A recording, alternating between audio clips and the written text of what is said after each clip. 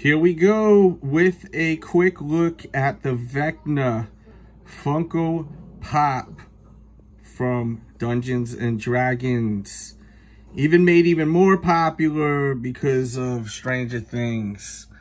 Uh, you got the Demogorgon right there. And you also, uh, of course, you have Vecna, who they um, put in the actual Stranger Things show. They named uh, number one Vecna.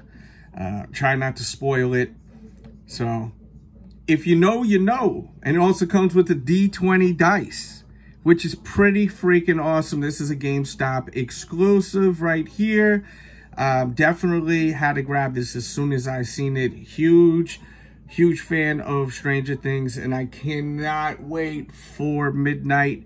We do have Stranger Things, the second part of the new season.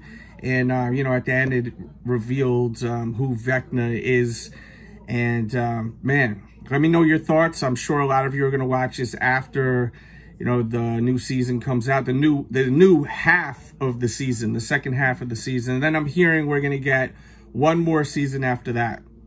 But I'm really enjoying Stranger Things. It was definitely like a mind-blowing moment at the end of the first half.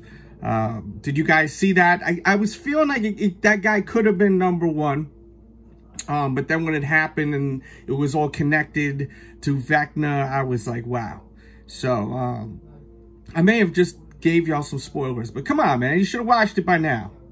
Leave your comments. I'll try to link this in the description when I get a chance. And I think that this is something you want to grab ASAP before it's sold out. And uh, hit the thumbs up button, subscribe. And uh, here's just some of my other Funkos real quick. This is just some of them. Um, let me know what you think, man. Leave your comments. Thumbs it up. Subscribe. Catch you soon. We out.